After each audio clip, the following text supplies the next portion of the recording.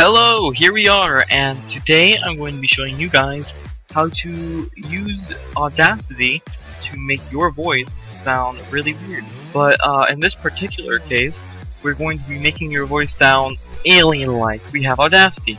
Um, if you don't know what Audacity is, it's a uh, free program to record your voice. It also can you can edit um, tracks, music, your voice, anything. Um, it's completely free. So first we have to record something. So I'm just gonna do some some kind of example. Um, again, this is going to be changing your voice to sound like some kind of alien. Hello, I am from planet uh, blah blah. Now, if you really, uh, first off, we want to get rid of these side silent parts.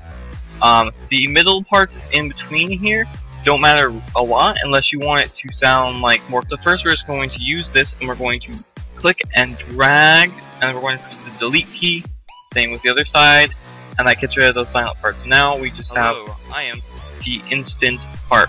Now for me, it's really quiet. If you don't, if your uh, microphone is louder, this isn't a problem. But for me, I have to highlight all of it because this is how we select what we want to change. I go to Effect. I'm going to go to Equalization.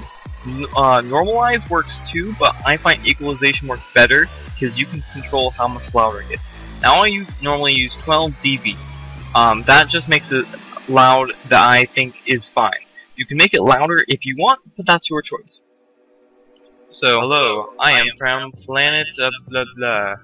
So now it's much louder. You can tell by these blue squiggly waves that they've gone louder, and it's a good sound, so it's easier to hear. So we're going to highlight again, we're going to effect, we're going to change the pitch. Because um, the kind of alien we're going through for is like a, a weird wow wow weird alien. That sounds weird.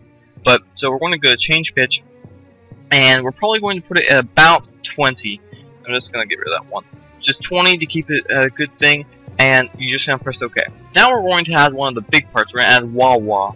Now this, what it does is you'll see, and you can probably just leave it as the general settings. If you know what these do or you want to mess with them, uh, just get different effects, go ahead. I'm just going to leave them as default, and now you can see. Hello, I am from Planet of blah. So, um, now effects. Now this is the last effect we'll be doing.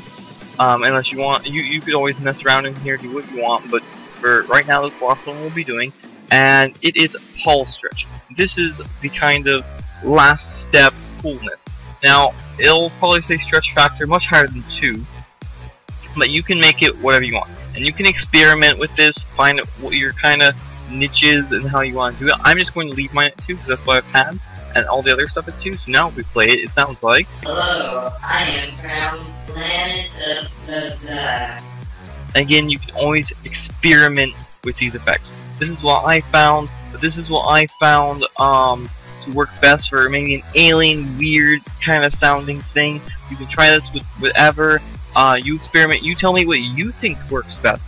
Um, is there another effect you think that would work better to sound more alien-like?